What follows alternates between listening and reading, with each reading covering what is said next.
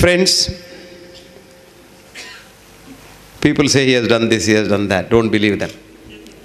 I now almost feel like echoing what one of those great people of Germany, of yore, von Johanna Goethe, said one day. He said, I now know philosophy, physiology, jurisprudence, and even alas, theology. How much? From end to end with labor scheme. But here I stand, O fool, with all my lore, no wiser than before. Friends, man must try to be wiser. When I look at the psychiatrist, I like him. Because most psychiatrists hate me. They would like to see me, see the end of me. Because I am dead against psychotic drugs. Because each one of them derived from either rocket fuel extract or from naphtha extract of Nujol damage the human system. It's not only the psychiatric drugs, other drugs also, because there's a beautiful study done by an American scientist, a great scientist. He is actually a professor of genetics in the Washington State University. Douglas, he's called Douglas, D.C. Douglas. Douglas did a fantastic study. He created a chip called the MIT chip, mitochondrial chip, a computer chip, which tracks the drug when it goes into the human system. And it tells you where, what it does. And it took a lot of our modern medicine, we call it as modern medicine. Why is it called modern medicine? I don't know. Anyway, we call it as modern medicine. And the other herbal drugs, mainly Tibetan, Chinese, and Indian herbal drugs. And what came out in that study is something fascinating. The minute we give any drug, when I give any drug, it may be anything from aspirin to statin, it, the body says, This is something new, I have not seen it. You know, my ancestors have not seen it. Mankind has not seen it. So it must be a poison. That's the wisdom of the human body. So any poison which goes in, the body tries to throw into the chemistry, chemistry factory in the body called the liver. So it's thrown into the liver. Every drug, mind you, mark my words, every drug. Now what the liver does, it does its best to destroy it.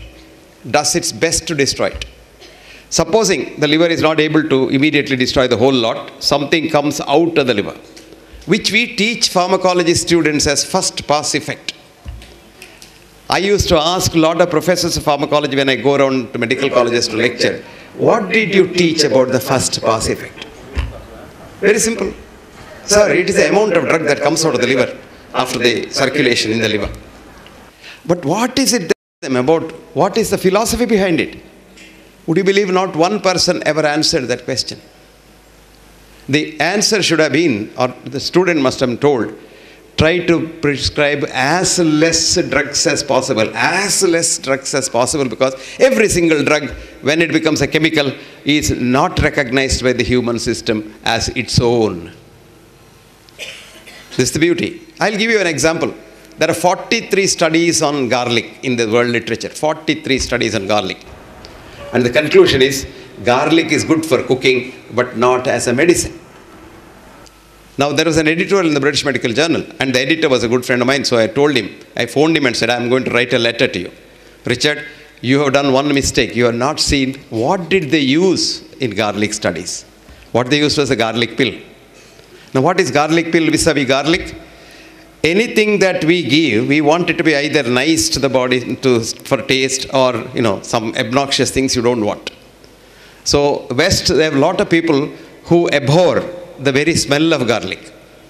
So, to sell drugs, what did they do? They removed the smelling part of garlic, which is called the SH group, the sulfhydryl group. The same chemical that gives good smell for your fart. The same thing. So, they removed that. I'm sorry for using unparliamentary words, but you know, uh, you want to tell the truth, you have to really drive the point home. So, this garlic pill is garlic minus SH group inside a plastic capsule which goes into the gut and there it delivers it. It's supposed to deliver it. By and large, most of the time, the garlic is eaten by the our friends in the in the toilet, whom you see on the television. See when that uh, what is that thing called? You spray it and that they all come like that, and then suddenly you get that spray, and then say they all die. What's that spray called? I forget it. Harpic Excel. you go, go back home and see. There are, there are billions and billion, trillions of germs in the, in the toilet. So they are very happy because they get good garlic to eat. What happens to you? Nothing happens to you. Now, garlic to be effective in the human system, it must be eaten as garlic in nature. And that too in raw form. And that too put in the mouth, chewed, kept there for a minute or two when it burns you. Because garlic has a medicine called alanine. But it is in the form of allicin in the garlic and it mixes with the trypsin in the saliva to become alanine. Unless it that, it's no effect. Now, when we did that study, garlic is a fantastic medicine. Fantastic medicine.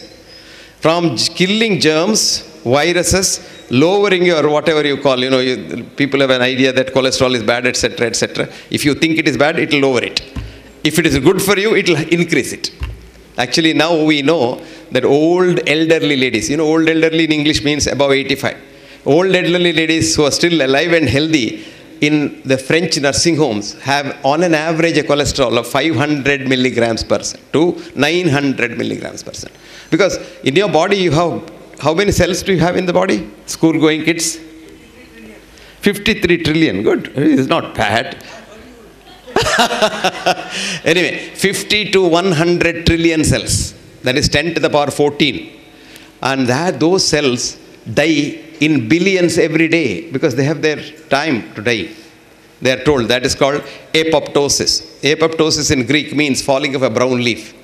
This word was coined by a botanist called Martin Raff, who was a professor of botany in the University College in London in the early part of the last century. And Martin gave the name apoptosis. That is a cell, when it's told, there's a, there's a gene called the suicidal gene. Gene tells the cell, like for example, a red cell, 120 days is life, an RBC. At the end of the 120 days, it gets a message saying that, look, Mr. RBC, your time is up. So the RBC responds. The cell is intact. Apoptosis is intact cell. Becomes smaller, smaller, smaller, smaller, and becomes amorphic, loses its structure, form.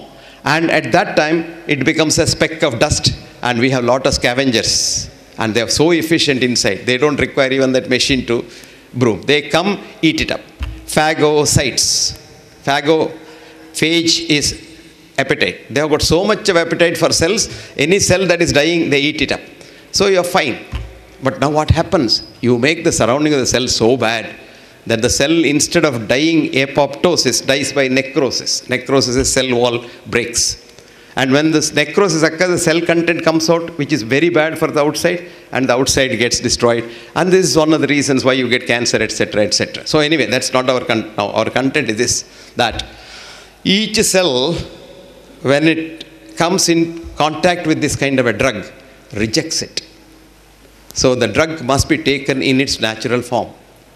That is why the poet wrote, Little do we see in nature that is ours. Little do we see in nature that is ours. Getting and spending, we seem to have lost our powers. What, what are we doing? Ask the chartered accountant. How many people want to cheat? I mean, uh, probably, you know, in a philosophic way, today if you cheat the government, I would be very happy because the government is squandering that money. You know, you give that money as tax, it's used for, it directly is into the Swiss banks. And probably India is the biggest depositor in the Swiss bank. So instead of that, you can do some good others. So we have a lot of these what called philanthropes. The philanthropes are those who really want name for giving that thing. You know, I so and so has given that kind of a thing. I'll tell you a story of two great people.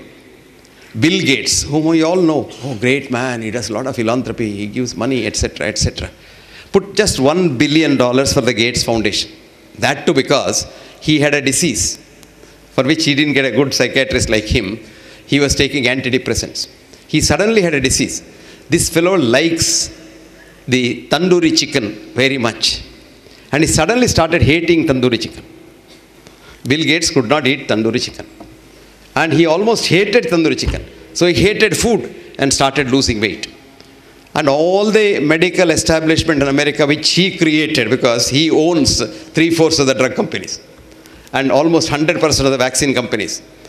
Now, all that couldn't help him. One day somebody told him, Look, Why don't you do give something?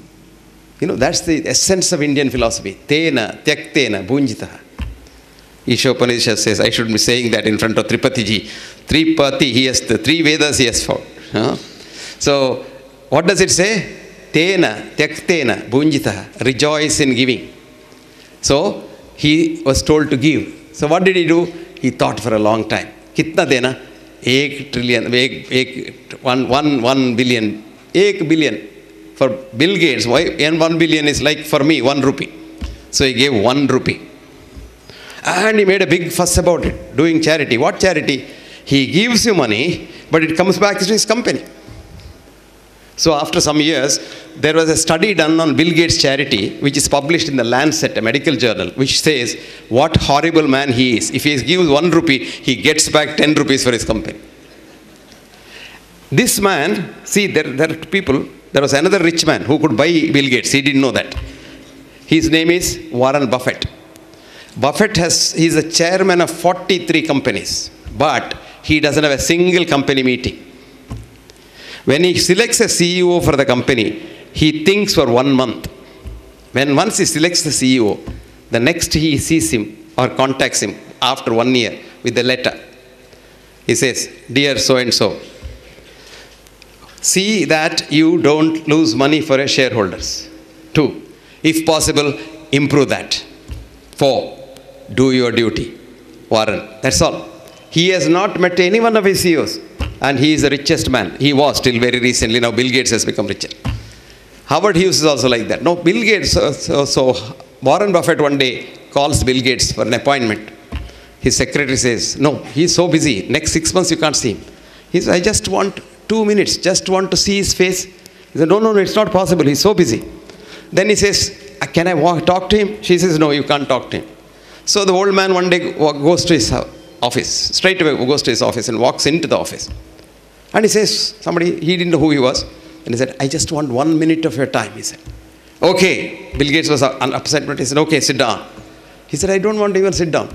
I've just got a check. You are supposed to be doing a lot of charity. I want to give something to your charity, but don't put my name. Bill Gates gave 1 billion. This fellow gave a check for 37 billion. Bill Gates was almost about to collapse. Then he sat up, stood up, and made him sit down, talked to him for five hours. Then he told him, Don't put my name, don't do anything. You just do some good things to society. That's the difference between a true philanthrope and a man who behaves like a philanthrope. So that is how society runs. Now come back to our drugs. What happens? When once you take any drug in its natural form, the body immediately says, ah, this is mine. I know. My grandfather has eaten it. You know, it's like rice or it's like wheat. So it is immediately taken in. So the MIT study or the, the mitochondrial chip study showed that it is the body's intelligence and the energy that runs the system and not the drugs. And all that the modern drugs could do is ADR, adverse drug reactions. The biggest killer of mankind today is not a gun, it's not a plane falling down. You would be surprised in America alone, whose population is little over the population of probably uh, Nagpur. Not Nagpur, 300 million, around less than 300 million.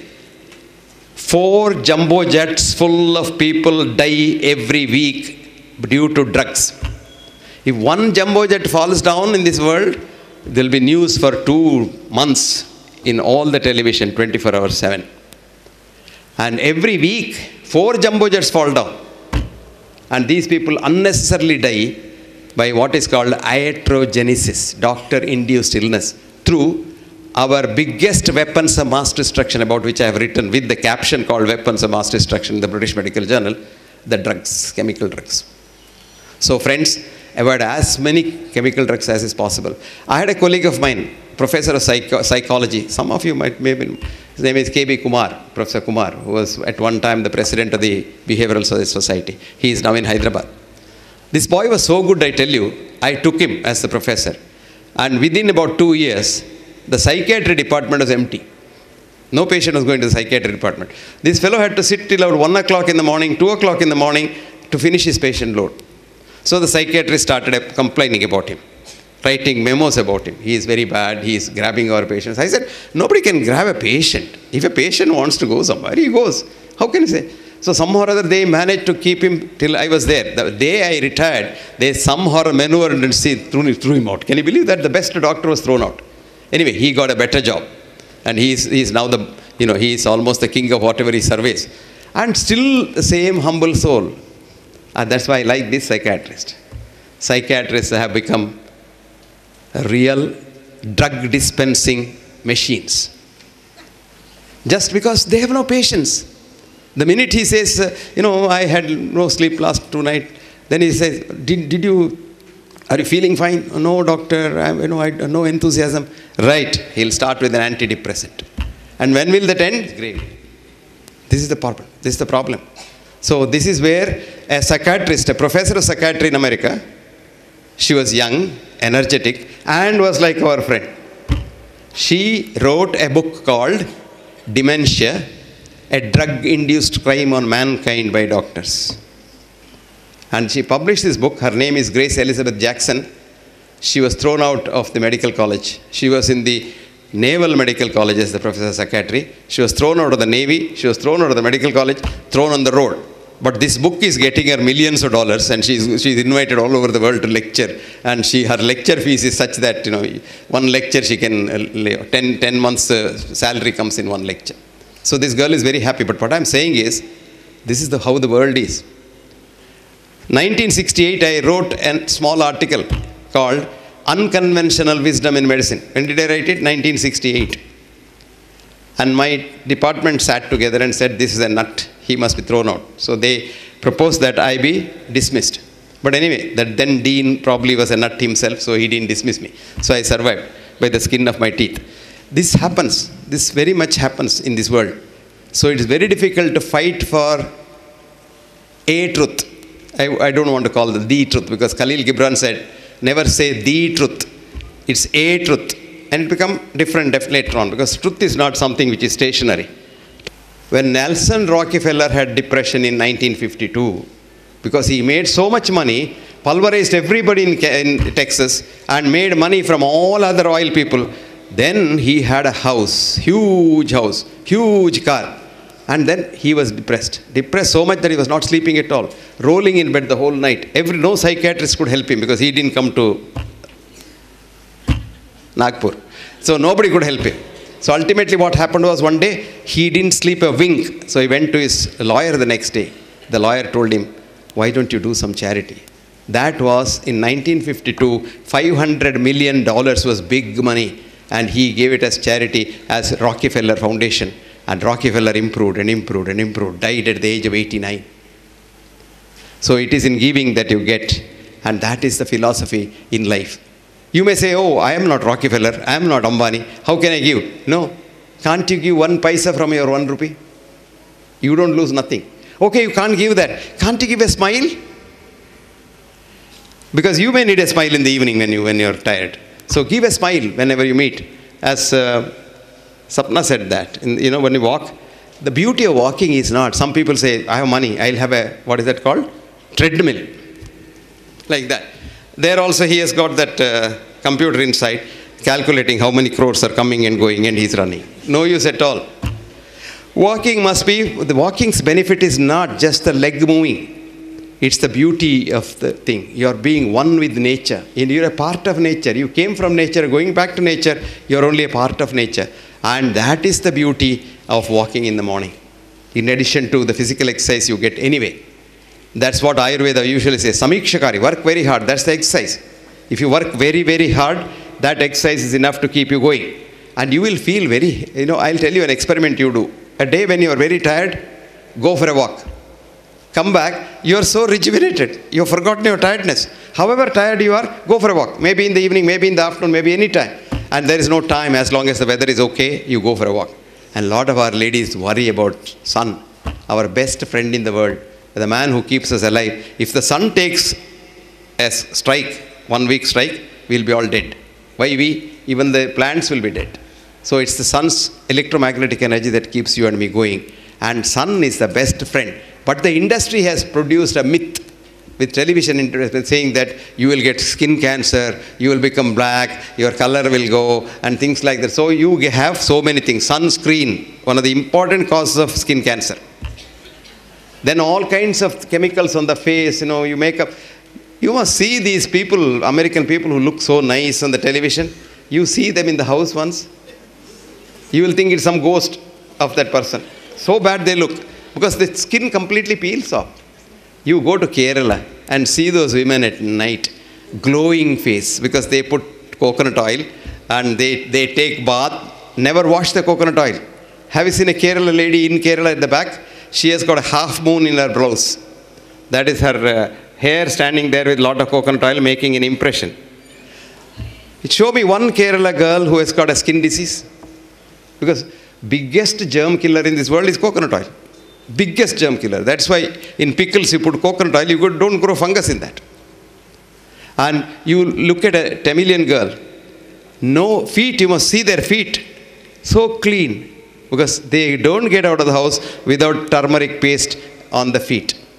And many of them, of course, the olden style. These days, of course, people are westernized. They put the turmeric paste on their face. They all look jaundiced if you look at them. They all look yellowish. These are all healthy things that we don't do. And the truth is always suppressed for business. Coconut oil.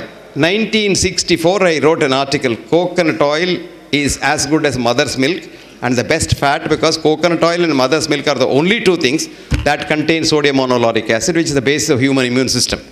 I even wrote there, suspecting doctors who have not studied their biochemistry properly will have a child to go and see the infant food, which is only coconut oil can be used for infant food. If you use any other oil, the infant will die because only two things get digested in the mouth because infant doesn't have the pancreatic juice, pancreatic lipase, so the fat can be digested only by the salivary lipase. And only two things. Even today, you put coconut in in mouth, it gets digested there. You don't have to sub, you swallow it. It just gets digested and directly goes as ketones. And that is why in America today, coconut oil is a treatment for Alzheimer's disease with very good results. Coconut oil now is the treatment for heart diseases from Harvard. And Harvard has now admitted that because we demonized coconut oil, millions of people have died all over the world. So, truth, it's very difficult, very difficult. I tell you, I have suffered so much that in 1984 I gave a talk on coconut oil for the heart in American College of Cardiology meet where there were about 25,000 cardiologists meet in three cities only because such large conference halls are not there anywhere.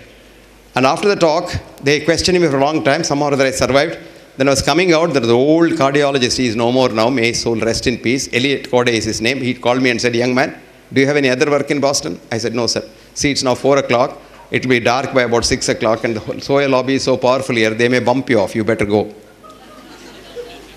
this, is, this, is our, this is called truth. This is the truth. You must see the abusive letters I get. I wrote a book called What Doctors Don't Get to Study in Medical School. It came out.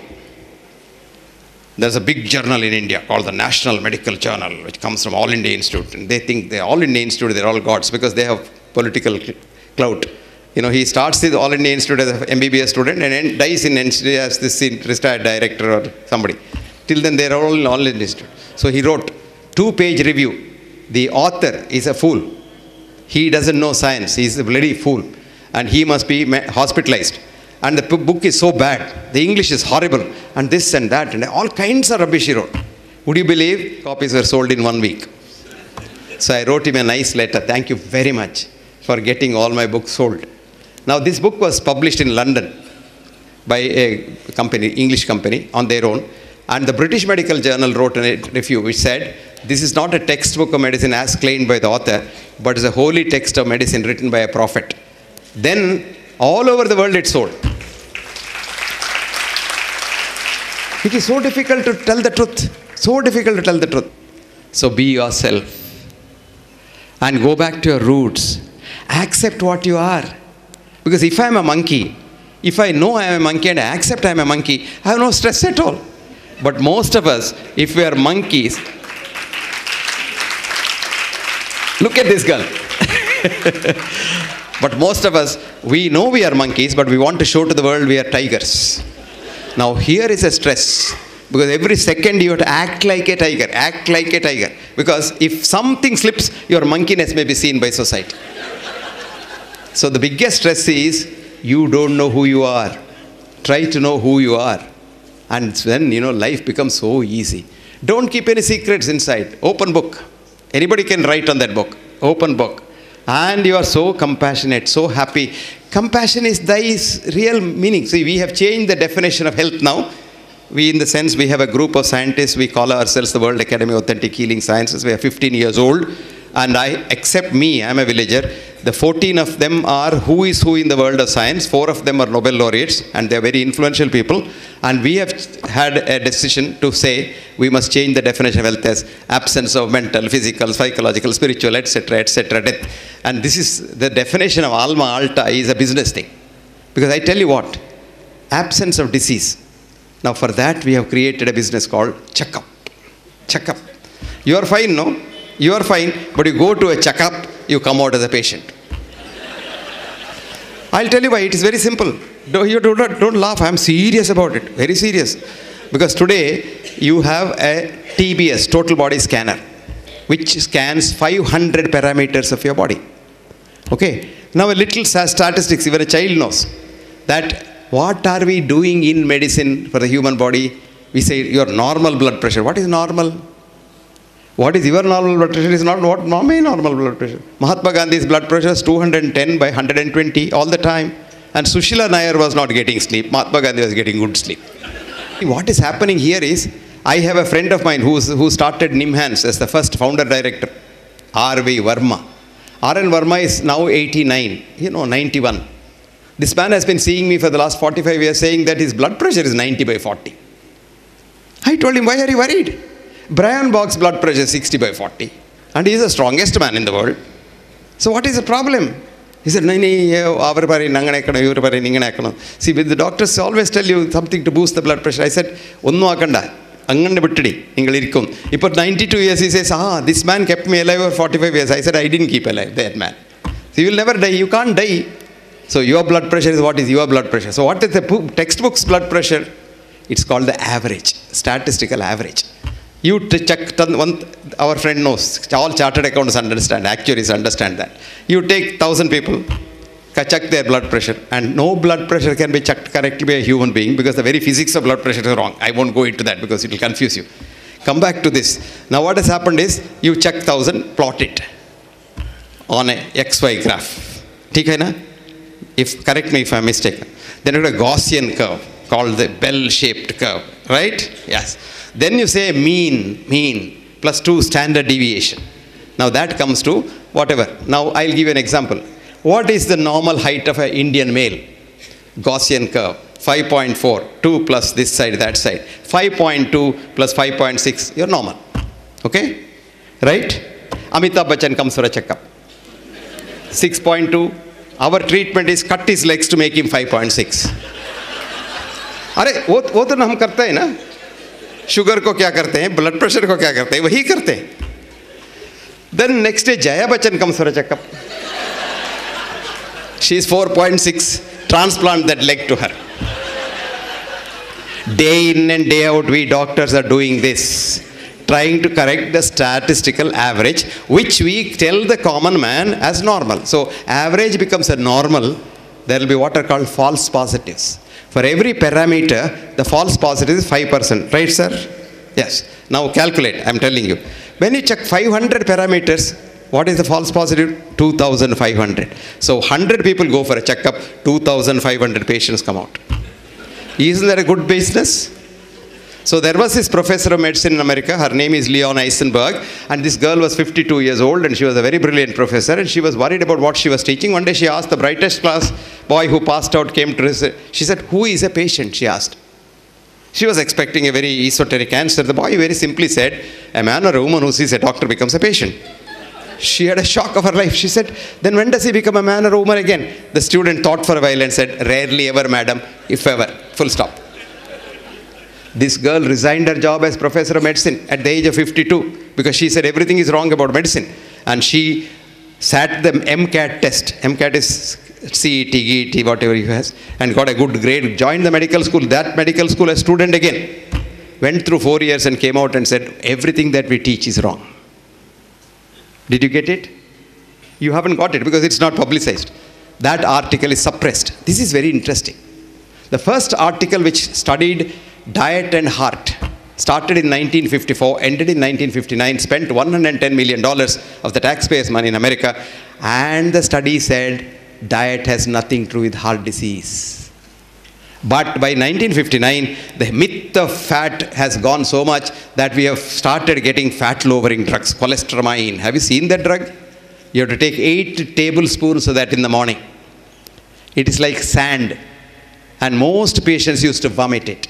And that was the beginning of the cholesterol too, the statin today. 25 rupees a tablet you give, take it, it kills you. 10% of people who start statin, their blood sugar starts going up. 10% of statin users become diabetic. So 11 million people take statins in India and 1 mil, 1.1 million diabetics are added every year. Then we proclaim on the other hand by the diabetic drug people, is that India is the capital of diabetes of the world. False. The truth is, India is the best country to have diabetes because Americans are following Indian rice diet for diabetes. South Indian rice diet.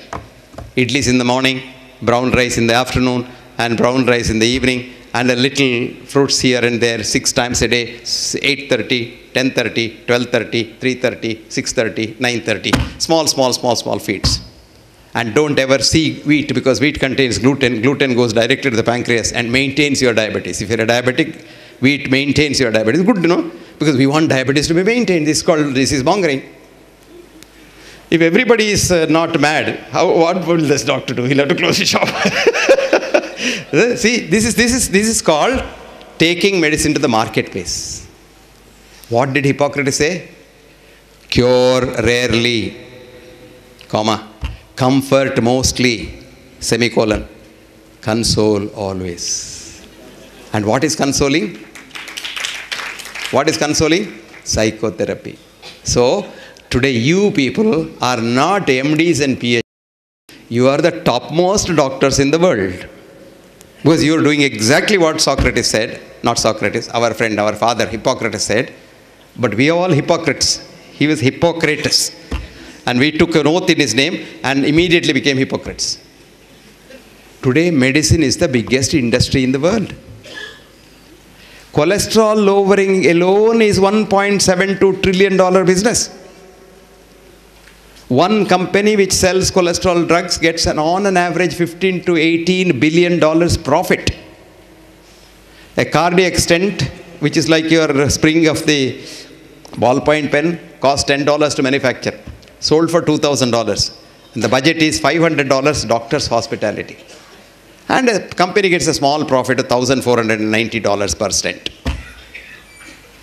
And of course, you don't get it for 2000 The hospital will have add so many things that salt, then you know, seasoning, etc., etc. It becomes about 3, 4 lakhs. Now, what does it do at the end of the day? Nothing. Because the blocks you see are not disease at all. The disease that kills you is not seen in the angiogram. It's called vulnerable plaque, which can't be seen. These blocks are very good because every, even a child has a block.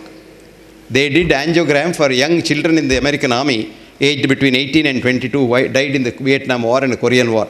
They had four vessel blocks, three vessel blocks. They were very healthy because God has given enough. That's called remodeling the heart. It's preconditioning it. These people with the block get a heart attack, they won't die. But if one gets a heart attack without a block, he will drop down dead. So, but we frighten that. We tell them, don't you know the sentence we use? You are sitting on a volcano. It might burst any minute. So the fellow says, uh, Can he go home and come back? He has talked to his wife. I don't know. On your way back home, also you may die. So you better do it now. Do you know why? If the Bakra goes out and talks to somebody, he may not come back. Now, chartered accountant will tell you a, a cost of a cardiac catheter lab and surgery will be about 30 to 40 crores today. They don't put their money, they put some black money as uh, this thing and then borrow it from the bank. There are obliging bankers who give you money. Now, having got the money, now calculate the interest, calculate the other thing. So, you require minimum four bakras a day to run the show. That is why Mark Twain wrote, I quote, For a man with a hammer in the hand and wanting to use it, everything here looks like a nail needing hammering. Absolutely true. That is why we have become a menace to society. It has to change. It can't change otherwise. It has to change from within. And that change can come only if we can bring up a generation, future generation, which is not as greedy as we are. It's the human greed that kills another human being. And if you don't have greed and if you don't have, as somebody rightly said, I think Sappan said, you have to ego, your ego, you have to sell it, is it? That's why the first thing I sold was, before I sold anything else, my ego in the market. So people say, oh, we must come to take you. I said, why do you come to take me? Do I get any special thing? And they say, we'll get the car. I said, look, you bring a car from 100 miles to pick me up. Then you take me to your place. Then you have to drop me back. That means four trips a day. Sir, that is our own car. Car is yours, but where is the oil from? You have to pay for it, no? Now, what do I get if you come or if you don't come? I will take a taxi from here. My taxi company fellow is there. I'll come to your place, pay his taxi fare and then I'll come back. So it saves at least two trips. They don't understand. People don't like it, sir. Chief guest, we have to bring him and all. I said, my driver brings me better than you. You know, I know him because I've been using that car for donkey's years and he is very safe. I can even sleep in that car. You don't bring a big car with a driver who is not known. I can't, every minute I have to be awake. People don't understand that. Because people want to be big, you know. I, people call me, you know, uh, our naughty girl Poonam was calling me a VIP. I said, I am not a VIP, I am a VVIP, very, very insignificant person. But if you look at yourself, look at yourself. You are a colony of 100 trillion human beings. They are called human cells. And they are all you. And each cell has been living on its own. It has got its mind, it can eat, it can sleep, it can excrete, it can do everything. But for economic reasons, after these chartered accountants came, they said, no, why everybody do everything? We'll come together. So about 100 trillion of them joined together and made a colony called the human body. And you think your human body is solid? There's nothing solid about you. You are like the television screen. You know, I'm talking here. It's like Amitabh Bachchan talking on the television or uh, Hema Malini dancing. You put the television on, Hema Malini starts dancing. You put it off, Hema Malini is dead. But you go to the dining room and put it on, Hema Malini is born there. That's what exactly happens to the human cell. This was found out by a cell biologist called Bruce Lipton. Bruce Lipton. There's a beautiful book you must read called Biology of Belief. This is a fascinating book. This man was an atheist. He never believed in God. And he was a professor of anatomy in the Wisconsin Medical School. And he was a cell biologist. And he was studying not the dead cells like most anatomists study, which he calls as the tombstone of a cell. He was studying a live cell. And he was studying this live cell. And then he saw the cell is live, moves about, does everything. It excretes, it thinks, it can. You just put a drop of poison at one end of the petri dish, the cell runs away from the poison. You put a drop of some good food there, the cell runs into the food and eats it. Then he saw on the day you are made, you are the one cell. You're called zygote. Your weight is 0.1201 gram. But that one cell, when suddenly gets a connection, that's what's called the integral membrane protein with an antenna, like your television antenna, it gets a connection from universal consciousness. And the cell becomes live.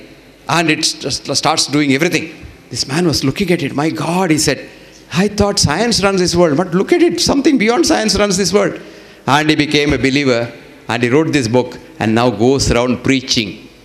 Like our friend uh, Sapna who left her ophthalmology and went around preaching, Bruce now goes around preaching like a preacher, people to have belief in God because it's God who runs the world. That's what's called the biology of belief. Somebody was talking about emotions. The two people, our chartered accountant our psychiatrist emotions have been proved to be chemicals. There is this girl called Candace Pert, a brilliant PhD student, who came to the palace. America's NIH is called the palace, where all kings sit. Like, you know, here ICMR is a palace. And like that, they're all big people. They, I call them Sarkari scientists. And there are Sarkari intellectuals here who give opinion on everything under the sun, from sun to the moon. Everything they give. So the Sarkari scientist, the head was what's called Sol Snyder. Snyder is a big name, a Lasker Award winner and a big name. So this girl started a postdoc with Snyder who had some money for finding out opiate receptors, which are known to be only in the brain, because we thought the brain, mind, mind is only in the brain at that time. So he told her, find out if the opiate receptors are elsewhere. This girl took to it like fish taking to water. She worked very hard, day and night, day and night, day and night. But by the time the money was spent, there was nothing left. And still she has not got the receptor. So Sol called her, don't, I don't want to waste my money on you. This receptor is over. You go and do, do something. I don't want you as a postdoc. But this girl said, I'm going to find it one day. Something inside her saying, I'm going to find it one day. So she told him, I don't want money, sir, but I'll continue in this lab. He said, for a change, okay, continue in the lab. Six months later, she found out an opiate receptor in the muscle, opiate receptor in the blood vessel. And she was so excited. And she had worked so hard, she deserved a holiday. She locked her laboratory and went away for a long holiday. Then something sensed in this fellow, something is amiss. So he called the laboratory technicians and said, What was this girl doing at night? They said, Sir, she was working on the same thing and she has found something. Is it? Then lock was removed at night. And he got the ledger and got all her data. And before she came back from the holiday, he published the data in a paper. And he was so influential that he went to Swiss Academy and said, This is the thing I have found. And they said, Okay, you will get the Nobel Prize. So Nobel Prize was declared in his name, but was not given because the date had not come. When this girl, Candace, came back, she was so fuming because he said, This fellow who destroyed my career now wants to steal my data. Very bold girl. So she went directly to Geneva and Zurich and then talked to all the members and said, This is my work. This is my original data. This fellow has photostarted it. This is not his journal. And of course, Sol did not get his Nobel Prize. Candace lost her job. Candace lost her uh, standing in community, thrown out. Candace wrote a book, Molecules of Emotion. Beautiful book. Molecules of Emotion. Please get that book and read it. Candace, C-A-N-D-A-C, P-E-R-T is her name, and read that book. And there's a beautiful sentence I'll tell you. Time will come when you get a headache, you don't look for a pill, instead sit in one place and elevate your consciousness to the level where your own brain produces enough opioids to kill your pain. Full stop. What a beautiful thing. And that is the future of medicine, my dear friends. But we have to take it out, de-link it from money. Unless you de-link medicine from money, this medicine will kill mankind. I don't know how many of you read this beautiful article. If you have not, read it in the Google free. It's called Death by Medicine. There are five authors. The first author's name is Gary Null, G A R Y N U L L. Please read that. You will get a shock of your life that we are the leaders of death in the world, followed by cancer low down and heart attack much lower down. On the top of the list, in a country where we think there are so much checks and balances, if it could happen, you horrified, you take the audit in India, my God, you will be shocked. That is why we went to the IOM, convinced them that the future of health definition should not have absence of disease because there is nobody who has no disease. If I now scan all of you with the TBS, all of us will have not one cancer, 10 to 15 cancers. But they don't become cancers, they all die. When do they die? When you have a good mind and when you want to help someone, cancer cannot grow in you. But when you eat a lot, like a pig, and hate everyone, cancers grow like a tree. And that's what happens. And it's in the mind. Everything is in the mind. And where is the mind? Never mind. and the mind is everywhere. It's in my hand. And who is the mind? For every nine cells of germs in my body, I have one cell of mine. In your body, for every single cell of yours, you have nine germ cells. In your own genome, we are saying we are human genome, we know everything, we doing genetic engineering, we'll do uh, stem cell. We don't even know one by one a millionth of a genome because genome contains 23,000 human genes and two and a half trillion germ genes. Germinomes, metabolomes, virinomes, all of them put together, the metagenome is all germs. And I have written an article, you read that, a simple article called Germs Are Us. Toys Are Us you have seen, you know. So I wrote germs are us. We are germs. So when I say, did your father have diabetes? Yes, sir. Oh, then you become a diabetic. With fear itself, with the sugar will go up. Your father's diabetes has nothing to do with you. Because your father knew that relationship is one in a million zeros one. But you may be a diabetic if the germs is a diabetic. So you are a germs child. And these germs are our friends. We have come one full circle from Pasteur. Louis Pasteur said, germs kill. And then they say, germ theory was born, and that's why mankind is alive. It was a great day for medicine, and antibiotics were an. Today it's a very sad day for medicine because there are 500 antibiotic molecules. They cannot even touch some of the germs which have grown in the hospital called superbugs. And do you know how we kill it? When Morarji Desai used to drink his own urine, we used to laugh at him. Didn't you laugh? You also must have laughed. Because most of us are RNIs, you know RNI, resident non-Indians. Most of us live here, think with American mind.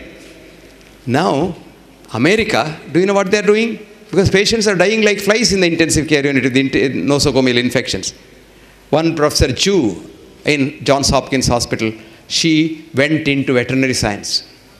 In the veterinary science for hundreds of years, infections were treated not by the present vets who use antibiotics. In the olden days, vets, cow's infection was used by cow dung. This girl did a bold thing. The patient was dying of a simple Clostridium difficile infection. And otherwise, the patient was very healthy.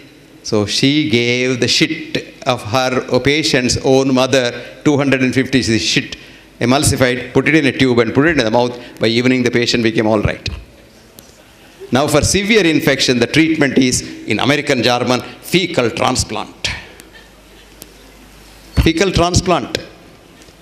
Morarji Desai was drinking urine. Today it's fecal transplant. Now America says human urine has so much of kallikreins and so much of immune boosters that it could be treatment. And cow's urine is now patented for treatment as an immune booster. One day I was with the central minister this fellow was used to be my patient. So he one day told me, Professor Hegde, shall I tell you a secret? I said, go ahead. You can tell it to the world. I don't care, he said. I said, okay. He was admitted with what is called ulcerative colitis. You must have heard of it, which, means we don't know anything about it. It's called idiopathic disease. We are very happy about this disease. Idiopathic means I am an idiot. But that idiopathic is in Latin, and I am an idiot in simple English. I am an idiot, I don't know. And he was having 20 loose motions of blood every day and lost about 20 kilograms. And he was admitted in intensive care unit in the, uh, the All India Institute. One day, Morarji Desai, his prime minister, came to see him. He told him, you bloody fool, on the first day itself I told you to drink your urine, you forgot. Now anyway you are dying, drink your urine, he said. And he says the next morning he drank because he wanted to survive. One day drinking, 20 became 18. Two day drinking, cut short, 10 days drinking, he went home and he is alive now because somebody has now removed a part of his brain intentional to make him a vegetable but he is still alive he is about 76 77 78 i have another chief minister friend of mine one day he told me professor Hegde, do you know your friend so and so yes he was our party chief and i had an eczema my father was a doctor i'm, I'm an engineer but this eczema will not go i was looking so ugly i couldn't face the world one day your friend that minister told me, hey, drink your urine. I tell you, I faithfully do that even today. I have no disease at all. I am so fine. Both these ministers saying, we'll give you money, you do a research. But I have done my research already because I have a lot of volunteers, don't worry. And we have shown how important it is. I had a patient recently who had a heart attack and he came to me. He survived somehow or other. Not because of me, they all survive because of themselves. Now, this man had ulcerative colitis. So his gastroenterologist gave him sulfasalazine, and next day he had Stevens-Johnson syndrome. He was almost dying, kidney failure, whole body was bloated with skin and heart failure came, and he became really bad. So his wife was crying, Doctor, heart attack, you saved him, but with this simple diarrhea, he is dying. So I told her, look, if he is dying, definitely ask him to drink his urine. He became all right in a week's time. The whole thing stopped. So we have little do we see nature that is ours. Because the world is too much with us, money is too much with us. This is what our friend Wordsworth, William Wordsworth wrote after the Industrial Revolution. The world is too much with us, late and soon. Getting and spending, we seem to have lost our powers. Little do we see in nature that is ours. We have sold our soul, a sordid boon. Friends, don't sell your soul to the devil. Who is the soul? Now we know where the soul is. Here is this quantum physicist who is an astrophysicist. His name is Robert Lanza. And Lanza has found that the soul leaving the body. How many of you have read that beautiful book called H.W. Wells written a book called Holes in the Wall? If you have not read, read it. H.W. Wells, the fascinating book called Holes in the Wall.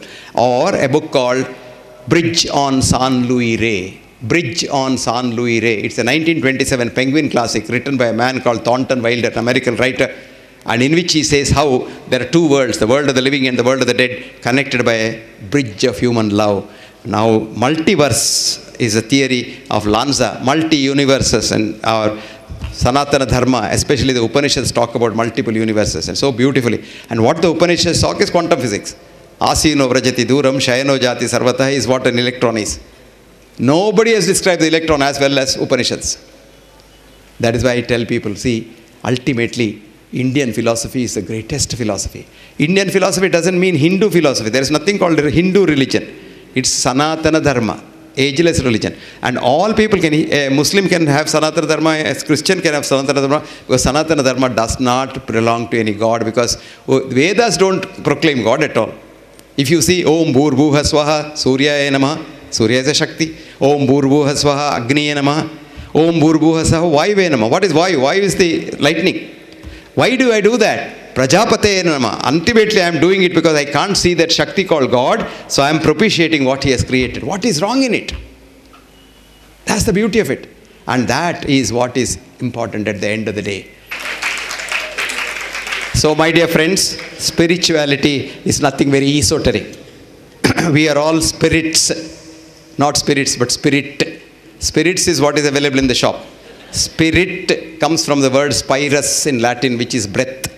So our ancestors, cave dwellers, knew one thing. An animal which they killed for eating did not breathe. A live animal breathed. So they hypothesized, just as we do an hypothesis, breath is a God who enters you and leaves you when you die. Which of course is not true, but then that is how the word spirituality was developed from that. Spirituality has nothing to do with religion. Absolutely nothing to do with religion. Spirituality simply is dealing with the spirit. That's a human being. And how do you deal with the human being? Because why do you deal with another human being? Because he is a part of you. Today, the greatest quantum physicist Max Planck says consciousness is fundamental. Everything else is derived from that. So you are derived from the consciousness, I am derived from the consciousness, from the same consciousness. Supposing I want to hurt, hurt our chartered accountant, it hurts a part of my body. So I want to destroy him, my body get destroyed by my own cells. That's called autoimmune disease. Me, you concept. Leave that me business, I business. Make it we business. And the day you leave the I and you become a we, you are fine. A Shishya went to a guru. He said, Sir, I have come here. I want peace. I want peace. He was fighting. And the guru said, Say that again. I want peace. He said, Okay, say that without the I. Want peace. Want peace. Now, without the want, peace. See, there is peace. What is preventing peace? Want and then I. So let us leave I and want and live in this world as we. Thank you very much.